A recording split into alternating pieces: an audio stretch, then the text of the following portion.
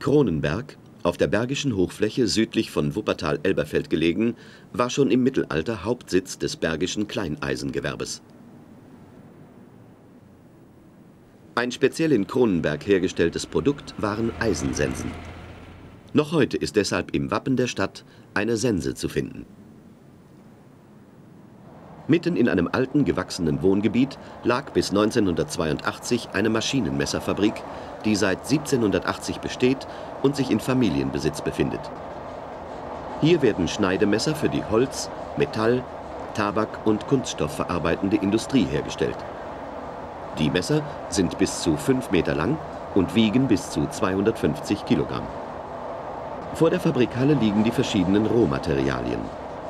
Die alte Halle war nach einem Brand provisorisch wieder aufgebaut worden. Dies führte zu Baustopp und 1982 schließlich zur Verlegung des Betriebes innerhalb Kronenbergs. Den größten Raum des Lagers nimmt das Eisen ein. Besonders gekennzeichnet ist der Werkzeugstahl. Die schwarz-weiß markierten Rohlinge machen etwa ein Fünftel des gesamten Materialbestandes aus. In der Halle sind erster Schmied, zweiter Schmied und Hammer- bzw. Walzenführer damit beschäftigt, Rohlinge für Messer auszuwalzen.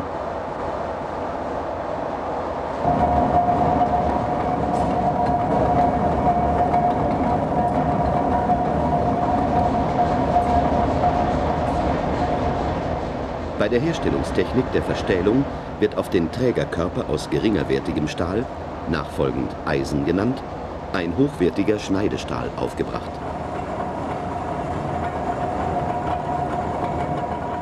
Die erste Walze in der Fabrik wurde 1913 angeschafft. Eine solche Maschine kann mit Sockel bis zu 16 Tonnen wiegen. Die eigentlichen Walzenzylinder sind aus Gussstahl und zusätzlich oberflächengehärtet.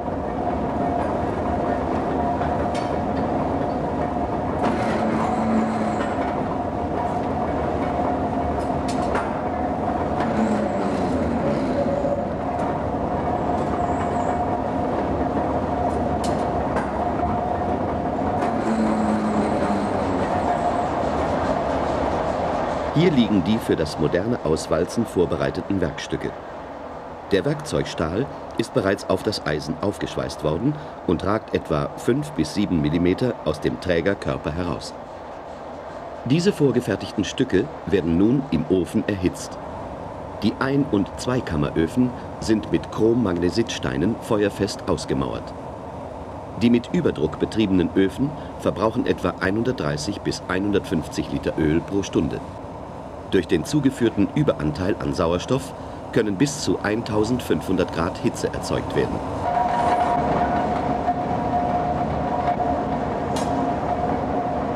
Nach 20 Minuten holt der Schmied den glühenden Rohling aus dem Ofen und bringt ihn zur Walze. Vor dem Walzvorgang muss die Zunderschicht bzw. der Hammerschlag entfernt werden. Wird dieser mit eingedrückt, entstehen qualitätsmindernde Drecklöcher.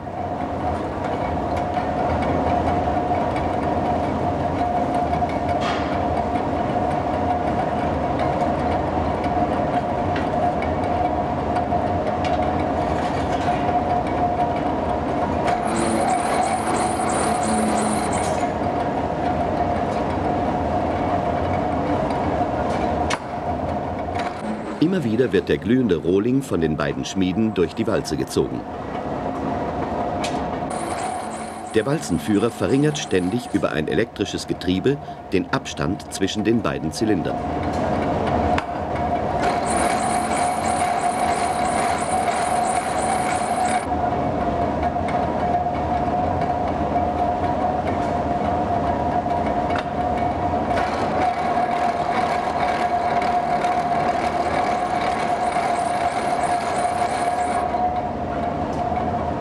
Die Arbeit an der Walze oder am Hammer ist trotz aller technischen Erleichterungen schwierig und kräfteraubend. Besonders Hitze und Lärm machen den Schmieden zu schaffen.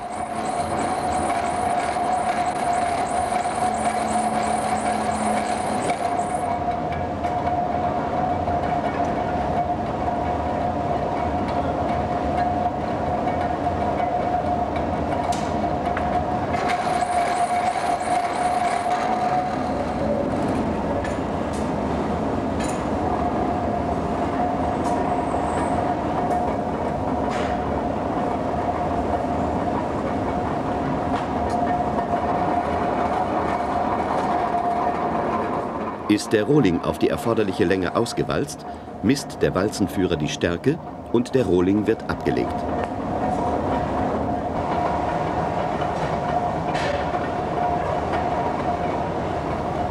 Bei der bis vor etwa 80 Jahren üblichen Technik der Verstählung von Schneidemessern mit dem Hammer sind mehrere verschiedene Arbeitsgänge notwendig. Im Zweikammerofen wird der Trägerkörper aus Eisen zunächst erwärmt.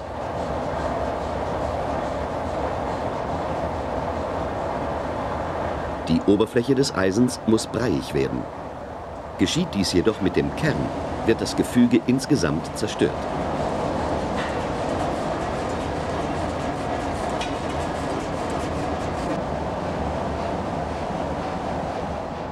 Mit dem Dreikant wird die Führung für das Setzeisen geschlagen. Mit diesem wird dann der Trägerkörper je nach Auftrag in die entsprechenden Stücke getrennt.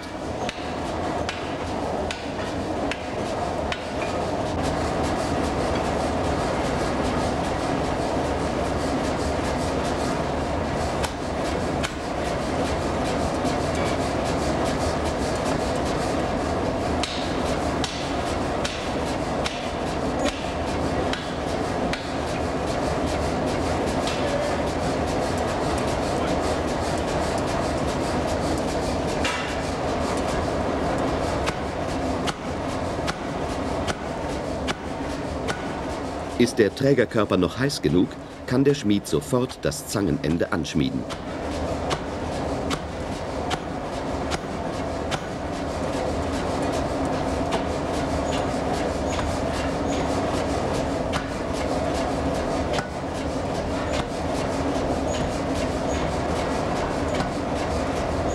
Es wird so geformt, dass der zweite Schmied mit der Stubzange den Trägerkörper übernehmen kann.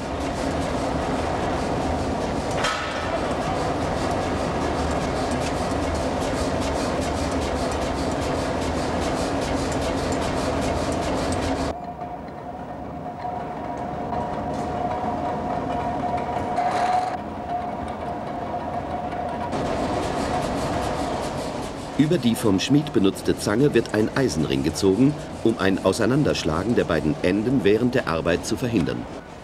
Diese Vorschrift dient der Sicherheit des Schmiedes.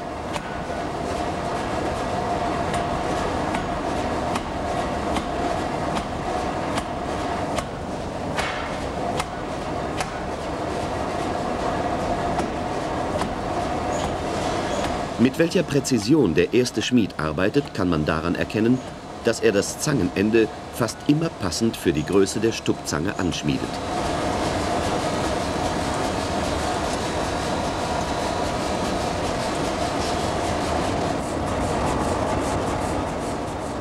Sind die für den entsprechenden Auftrag vorgesehenen Trägerkörper zugeschnitten, muss die Auflage aus Werkzeugstahl vorbereitet werden.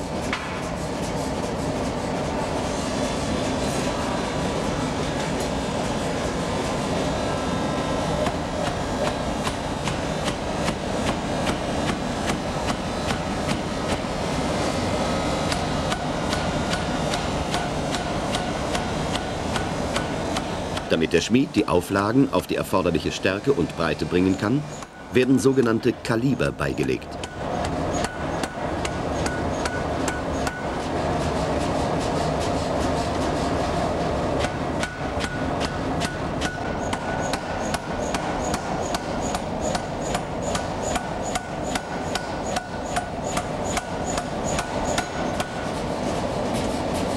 Zur Begradigung wird der Stahl über die Schlichtbahn gezogen.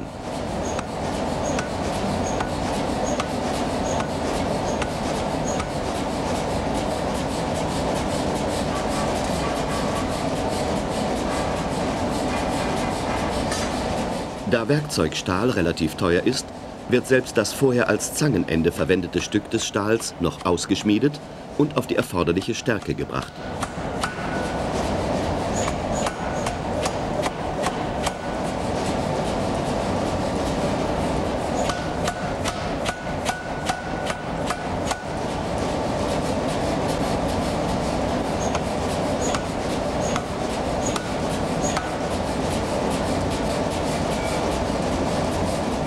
Das Abschlagen der Stahlstücke erfolgt in diesem Fall nur mit dem Dreikant.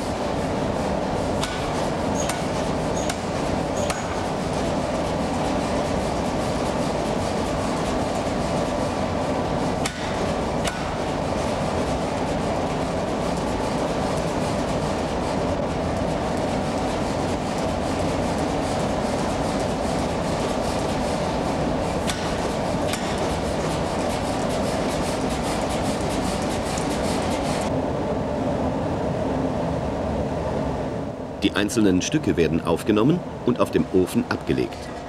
Dort werden sie warm gehalten, um die Rissbildung zu verhindern, die durch zu schnelles Abkühlen erfolgen kann. Während Eisen und Stahl wieder im Ofen erwärmt werden, bleibt der Hammer in Wartestellung. Das Fundament des Hammers ist aus Ziegelmauerwerk hergestellt und misst 6 auf 4 auf 3,5 Meter. Der Hammer wird hydraulisch betrieben wobei die Unterstützung durch Druckluft variabel ist. Das Bärgewicht, das das Fallgewicht des Hammers auf das zu bearbeitende Werkstück bezeichnet, beträgt 400 Kilogramm. Als Unterlage für den Amboss dient der sogenannte Hammerstock. Inzwischen sind Trägerkörper und Auflage wieder auf die erforderliche Bearbeitungstemperatur von 1200 Grad erwärmt worden. Der erste Schmied säubert mit einem Schabeisen den Trägerkörper. Hierbei wird die Zunderschicht entfernt. Gleichzeitig bereitet der Hammerführer die Auflage aus Stahl vor.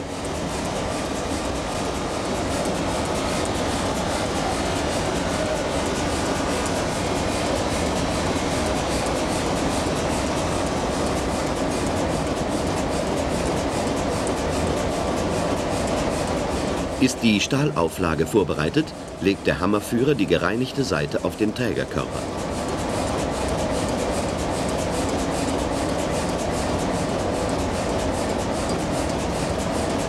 Das Anpressen dauert je nach Größe des Werkstücks und je nach Anpressdruck zwischen 10 und 20 Sekunden.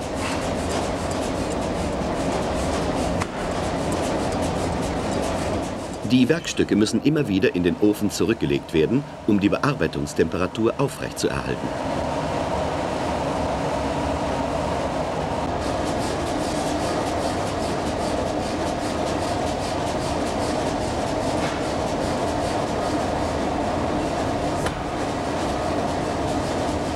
Vor jedem Arbeitsgang entfernt der Schmied die Zunderschicht.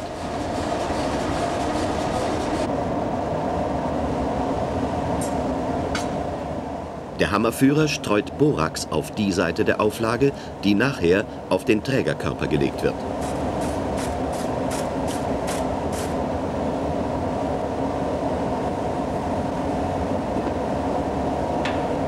Auch auf den Trägerkörper bringt man zur Verhinderung von Oxidation Borax auf. Anschließend werden noch Eisenspäne zur Verankerung der Auflage hinzugefügt.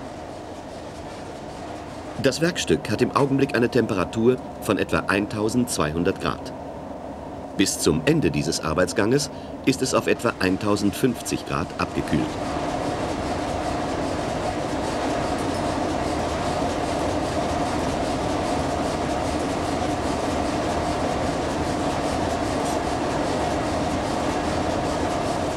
Verunreinigungen und Luftblasen werden aus dem Polster zwischen Trägerkörper und Auflage mit einem letzten Schlag auf das Werkstück herausgepresst.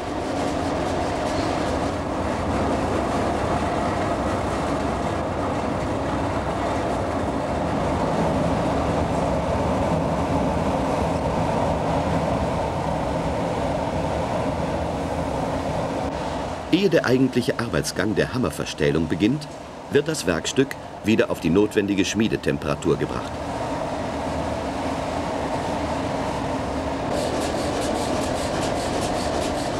Wie bei der modernen Technik des Auswalzens kommt es darauf an, den Trägerkörper fest mit der hochwertigen Auflage aus Werkzeugstahl zu verbinden.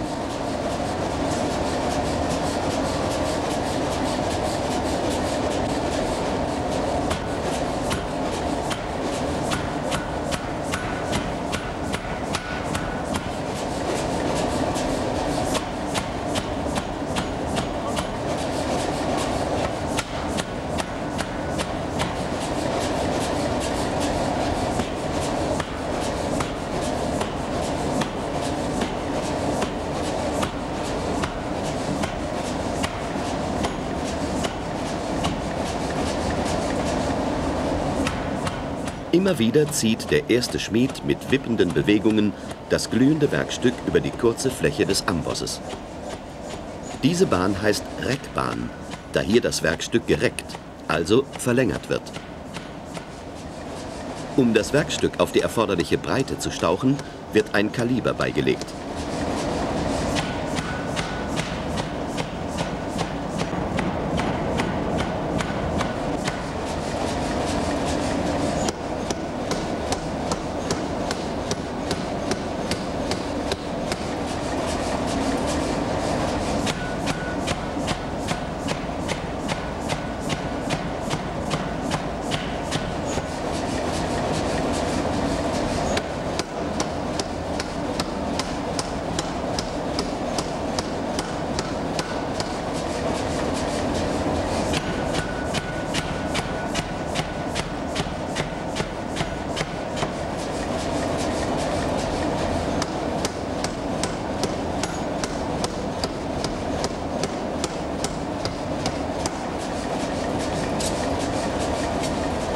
Zum Ausschmieden der Breite benutzt man ein Flacheisen.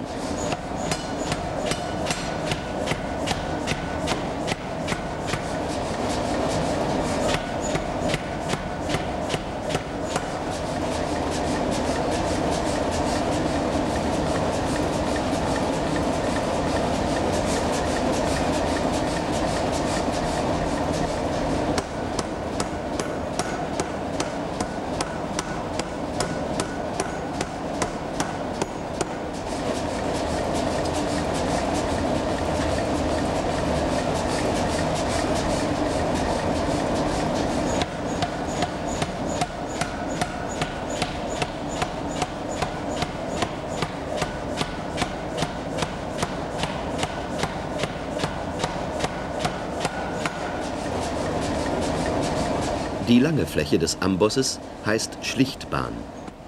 Zieht man das Werkstück über diese Schlichtbahn, wird es dadurch begradigt.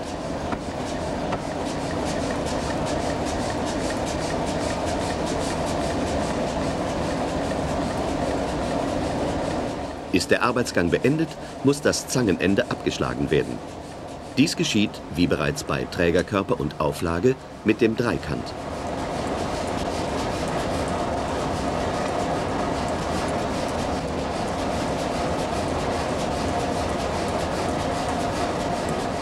War das erste Werkstück der Rohling für ein kurzes Messer, so verfolgen wir nun das Ausschmieden eines Rohlings für ein längeres Messer, das in zwei Etappen geschieht.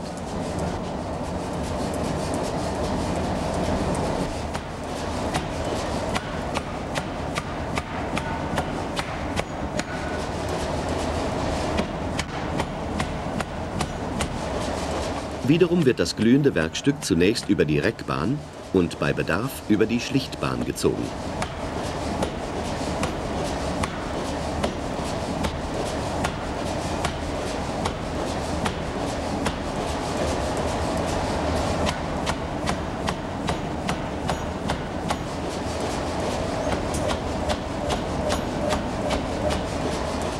Der erste Schmied ist der verantwortliche Mann am Hammer.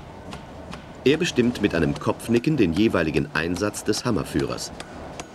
Auch der zweite Schmied in diesem eingespielten Team wird von ihm eingesetzt.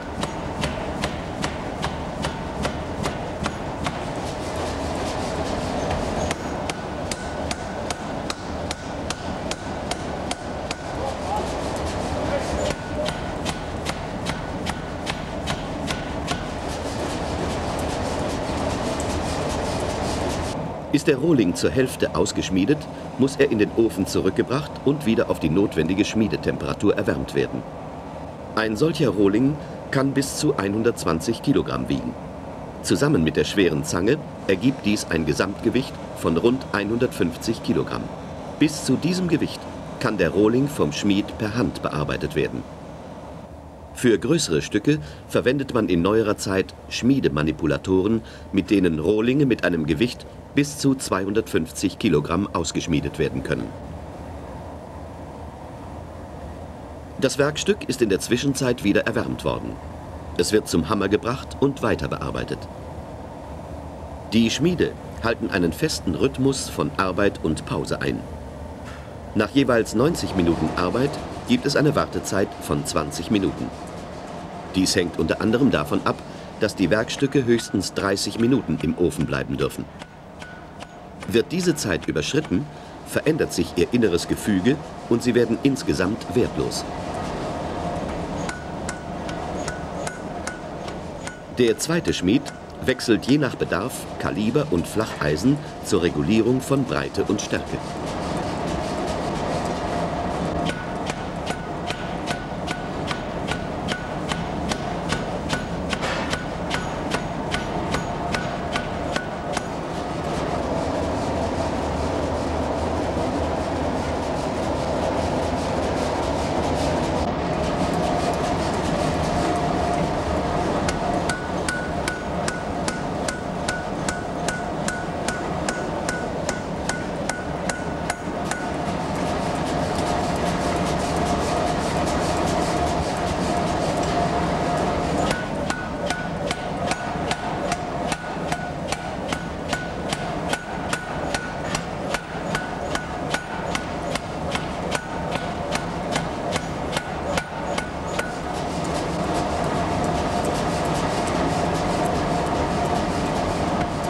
Zum Abschluss wird der Rohling des hammerverstählten langen Messers zur Begradigung über die Schlichtbahn gezogen.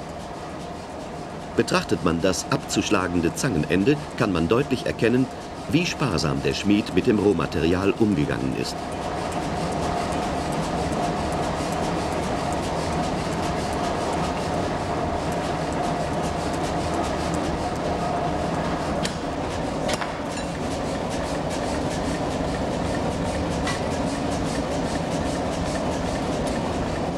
An den fertig ausgeschmiedeten Rohlingen sieht man die Technik der Hammerverstählung.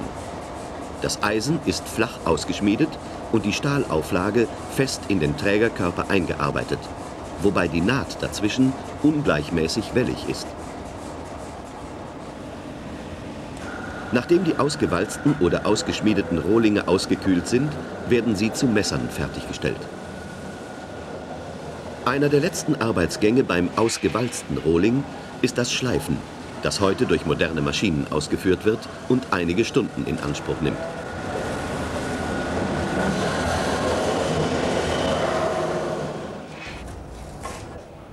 Bei der Endkontrolle werden die schweren Messer noch einmal überprüft. Besonders wichtig ist das Messen der Stärken, das sorgfältig durchgeführt wird. Die Messer sind für industrielle Abnehmer in der ganzen Welt bestimmt.